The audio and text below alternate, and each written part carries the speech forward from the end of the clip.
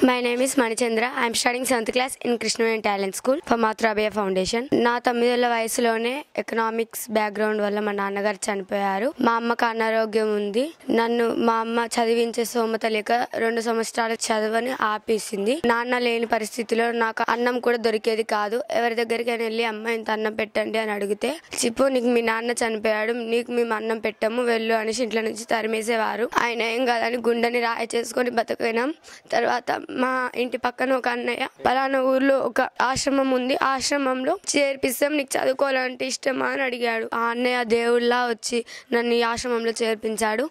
ఆనందం లేని నా జీవితంలో ఈ ఆశ్రమంకి వచ్చినప్పటి నుంచి నా జీవితంలో చాలా ఆనందం సంతోషంగా ఉంటున్నాను. నాకు నాన్న లేని లోటు కూడా మా రమేష్ నాన్నగారు తీర్చారు. మాకే అవసరం ఉన్నా కానీ మా దేవి అమ్మకి రమేష్ నాన్నగారికి చెప్పుకుంటాం. మాకు ఏదైనా అవసరం ఉంటే తీరుస్తారు. అమ్మ మాకు ఇక్కడికి వెళ్ళాలనిపిస్తుంది.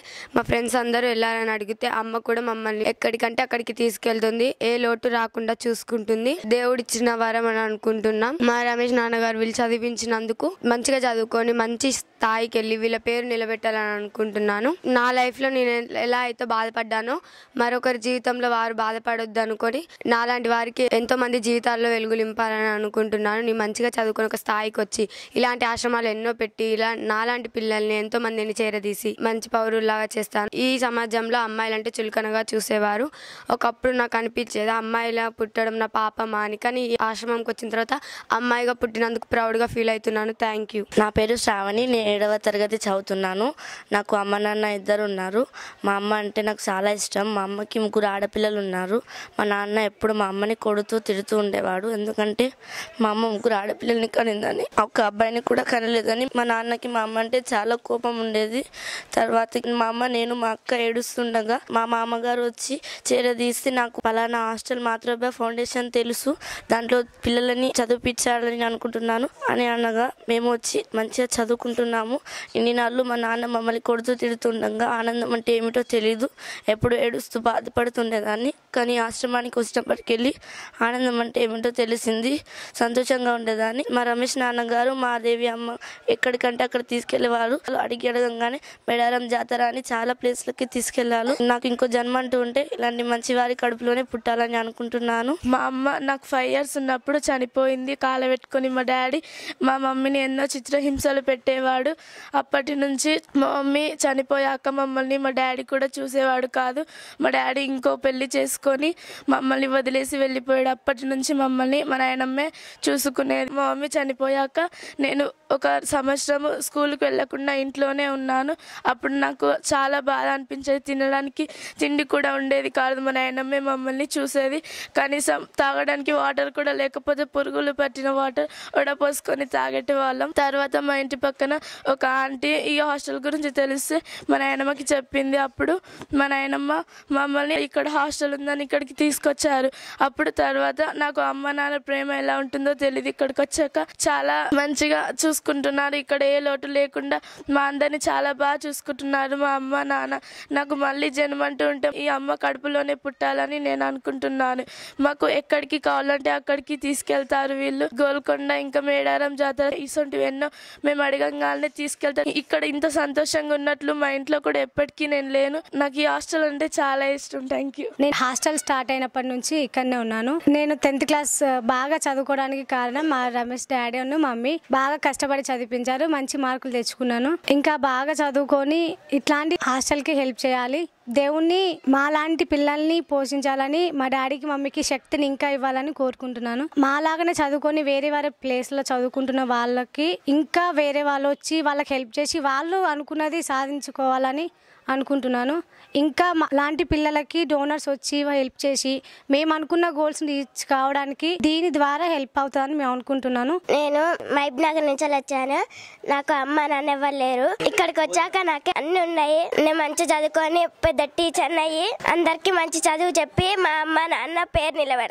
నేను చిన్న ఉన్నప్పుడు మా డాడీ చనిపోయాడు. మా అమ్మ వేరే పెళ్ళి చేసుకుంది. వేరే పెళ్ళి చేసుకున్నప్పుడు మా డాడీ మా అమ్మని చాలా కొట్టేవాడు. అయితే నేను ఒక రోజు అంగన్వాడికి రోజు వెళ్ళేదాన్ని చిన్న వయసులోనే. అక్కడ నాకు చదువు చెప్పేవారు. అయితే అక్కడికి ఇట్లా రమేష్ డాడీ వచ్చాడు. వచ్చి అట్లా టీచర్ని అడిగాడు. ఇట్లా ఎవరైనా అనాథ పిల్లలు ఉన్నారా?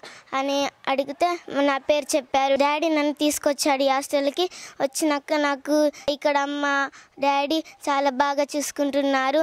నేను క్లాస్లో ఫస్ట్ మంచిగా చదువుకుంటున్నాను. నేను నాకు ఒకటే గోల్ టీచర్ కావాలని. నాలాంటి పిల్లలకి నేను చదువు చెప్పాలని నాకు ఆశ. నేను కంపల్సరీ టీచర్ అవుతా మా ఇంట్లో మా అమ్మకు మా డాడీకి చాలా గొడవలు అయ్యేవి ఎందుకంటే మా అమ్మ ముగ్గురు ఆడపిల్లలని కనింది అబ్బాయిలని కనలేదని మా డాడీ రోజు మా అమ్మని తాగి వచ్చేసి బాగా కొట్టేవాడు ఇంకా చాలా చిత్రహింసలు పెట్టేవాడు. రోజు ఇలానే కొడుతూ ఉంటుంటే మాపై కూడా చేయి చేసుకుంటుంటే చాలా ఏడుపు వచ్చేది. అనరాని మాటలని మా మనసుకు బాధ కలిగించేవాడు మా నాన్న. ఇలా రోజు ఏడుస్తూనే ఉండగా ఒక రోజు మా మామయ్య వచ్చి మమ్మల్ని దగ్గర చేర తీసుకొని ఎందుకు ఏడుస్తున్నారు? మీలాంటి వారు ఇంకా చాలా మంది చదువుకుంటున్నారు బయట. నాకు తెలిసిన ఒక అనాథాశ్రమం ఉంది. మిమ్మల్ని జాయిన్ చేస్తాను చేస్తానని ఇక్కడ రమేష్ డాడీ దేవి అమ్మ దగ్గరికి తీసుకొచ్చి మమ్మల్ని చదివించారు. ఇక్కడ ఇప్పుడు మాత్రం మా నాన్న మమ్మల్ని చాలా చదివించి ఆటలు ఆడిపించి రమేష్ డాడీ చాలా ఆడిపించి మమ్మల్ని ఇంకా సంతోషంగా పెట్టి మీకు ఏం కావాలో అది నేర్పిస్తా మీరు ఏం కావాలనుకుంటే అది చేపిస్తా అని మాకు మాట ఇచ్చి మమ్మల్ని చాలా బాగా చూసుకుంటున్నారు. నాన్నగారు రమేష్ డాడీ మా అమ్మ దేవి అమ్మ ఉన్నాక మాకు ఎలాంటి భయం లేదు. మమ్మల్ని అలా ఏం బాధ పెట్టకుండా ఏం లోటు లేకుండా మమ్మల్ని చాలా సంతోషంగా చూసుకుంటున్నారు. ఇలా చేస్తున్నందుకు నాకు చాలా సంతోషంగా ఉంది. మేము మా ఇంట్లో రోజు గొడవ పడుతూ అలా ఉండే వాళ్ళం కానీ అప్పుడు బాధపడే బాధపడేవాళ్ళం ఇప్పుడంతా హ్యాపీగా ఉన్నాము. పెద్దగా అయినాక నేను టీచర్ అవ్వాలనుకుంటున్నాను. నాలాంటి ఇలా అనాథాశ్రమాలకు మంచి పాఠం చెప్పి మంచి చదువు చెప్పి వాళ్ళని పై స్థాయిలో నిలబెట్టి ఇలాంటి ఆశ్రమాలకు చాలా నేర్పించాలనుకుంటున్నాను మాది శ్రీరంగపురం గ్రామం. నలుగురం అక్క చెల్లెళ్ళం. మా నాన్న ఒకడే మా మమ్మీ చిన్నప్పుడే చనిపోయింది. నేను టెన్త్ పినపాకలో చదివా కేజీబీవి కస్తూర్బా గాంధీ బాలికల విద్యాలయంలో. నా టెన్త్ అయిపోయాక మా నాన్నగారు చదివిపియా అని చెప్పారు. అయితే మా దేవి మమ్మీ మా పక్క గ్రామం. అయితే మా నాన్న చదివిపియా అని చెప్పి నన్ను అని పనికి పంపిస్తుంటే మా దేవి అమ్మగారు వచ్చి నువ్వు చదువుకోవట్లేవు మంచి మార్క్స్ వచ్చినాయి కదా చదువుకో మా ఆశ్రమంలో అని తీసుకొచ్చారు. ఇక్కడనే ఇంటర్ చదివాను మంచి మార్క్స్ వచ్చాయి. అయితే నువ్వేం చదువుతావు అంటే నేను నర్సు చేస్తా అని చెప్పాను. నర్సు చేయడానికి ఇక్కడ దగ్గరలో కాలేజీలు లేవు. అయితే నన్ను ఈసెల్ కాలేజ్లో జాయిన్ చేయించారు ఇక్కడ నుంచి చాలా లాంగ్ అవుతుందని చెప్పి మా మమ్మీ అక్కడనే నాకు ఫీజు కట్టి అక్కడనే ఉంచి మంచిగా చదివించారు. ఇప్పుడు నేను మంచిగా చదువుకుంటూ ఇక్కడనే ఉన్నాను. నా జిఎన్ఎం కంప్లీట్ అయ్యాక నేను మంచి మార్క్స్ తీసుకొచ్చుకొని అనాథాశ్రమంలోనే చిన్న క్లినిక్ పెట్టి నా లాంటి అనాథలకు ఉచిత సేవ చేస్తారు. నేను పదో తరగతి గవర్నమెంట్ స్కూల్లో చదివినాను. నాకు ఎవరు సహకారం అందేయలేదు. అయితే మామూలుగా పని చేసుకుంటూ బుక్స్ కూడా కొనుక్కొని గవర్నమెంట్ స్కూల్లో మామూలుగా అట్లా చదువుకున్నాను. అయిపోయాక నన్ను ఇంటర్ చేద్దామంటే డబ్బులు లేక ఇంటర్ చేయలేదు. బుక్స్ కూడా కావాలి దానికి కావాలి. పనికి పంపించారు నేను రెండు సంవత్సరాలు పని చేసుకున్నాక మళ్ళీ హైదరాబాద్కి పనికన్నా వచ్చాను. వచ్చినాక ఒక అన్న కలిసి ఈ మాతృబాయి హాస్టల్ ఉన్నది. మాతృబాయిలో నువ్వు చదువుకుంటా అంటున్నావు కదా చదువుకొని రమేష్ సార్ ఐటీఐ కాలేజీలో జాయిన్ చేశాడు. చేసినాక ఐటీఐ చేశాను. ఐటీఐ చేసుకుంటుంటూ వర్క్ కూడా నేర్చుకున్నాను మంచి కష్టపడి నేర్చుకున్నాను. ఈరోజు మా ఒక క్రామ్టెన్ దాంట్లో ఒక ఒక జాబ్ లాగా సంపాదించి ఈరోజు క్రామ్టెన్లో మన ఏరియా హైదరాబాద్లో కొద్దిగా మోటార్స్ కూడా రిపేరింగ్ చేసుకుంటుంటా ఉంటున్నాను. దీని కారణం రమేష్ సార్ మాతృబాయి ఫౌండేషన్. నేను ఇక్కడ ఆశ్రమంలో రెండు సంవత్సరాల నుంచి ఉంటున్నాను. నాకు ఇక్కడ అంటే అన్ని అవసరాలన్నీ మా మమ్మీ డాడీ తీరుస్తున్నారు. యాక్చువల్లీ మాకి మా అమ్మ నాన్న లేకపోతుండే. కానీ ఇక్కడికి వచ్చినాక అమ్మ నాన్న అందరూ అన్ని వీరియా వేసి మా అవసరాలు అన్ని తీరుస్తున్నారు. ఏ లోటు లేకుండా చూసుకుంటున్నారు. ఎందుకనంటే తను కూడా అనాథాశ్రమంలో పెరగడం వలన ఇంతమందికి హెల్ప్ చేయాలని ఆలోచన. సో ఆయన ఆలోచన గొప్పది. సో మనం కూడా సేవ చేయాలని చాలా మందికి ఉంటుంది. కానీ సేవ చేసేవారు తక్కువ మంది ఉంటారు. సో అలాంటి వాళ్ళకు కూడా మనం కనీసం సహాయం చేసినాం అనుకో వాళ్ళు ఇంకా చాలా మందికి సాయం చేయడానికి ఉపయోగపడతారు. సేవ చేయాలనుకున్న వారు ఇంకా హెల్ప్ చేసి మా సార్ని కొంచెం గుర్తించాలని అనుకుంటున్నాను.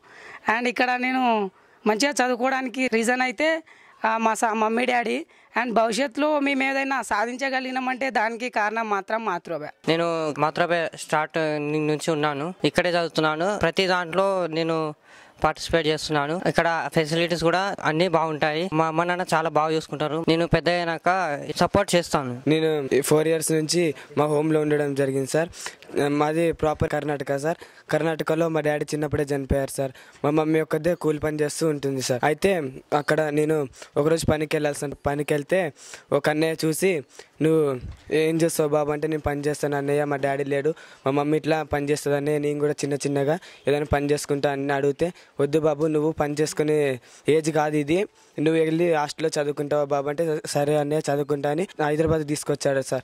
తీసుకురాగానే ఆయన ఇంట్లో ఒక రెండు మూడు రోజులు ఉన్నారు సార్ నచ్చింది నాకు. అన్నయ్య నేను హాస్టల్కి వెళ్తాను అన్నయ్య అంటే తీసుకొచ్చి మాత్రమే ఫౌండేషన్లో వేశారు సార్. అప్పటి నుంచి ఫోర్ ఇయర్స్ నుంచి చూస్తున్నా సార్ అన్నం అన్నీ బాగుంటాయి సార్. ఎక్కడంటే అక్కడ తీసుకెళ్తారు. టూర్లకి అవన్నీ తిప్పుతారు సార్. అన్ని బట్టలు ఫుడ్ అన్ని మంచిగా ఉంటాయి సార్. అందుకని మా మమ్మీ డాడీకి థ్యాంక్ యూ చెప్తున్నా. సార్ ఇక్కడ అన్నలు చెల్లెలు అందరూ మంచిగా చూసుకుంటారు సార్.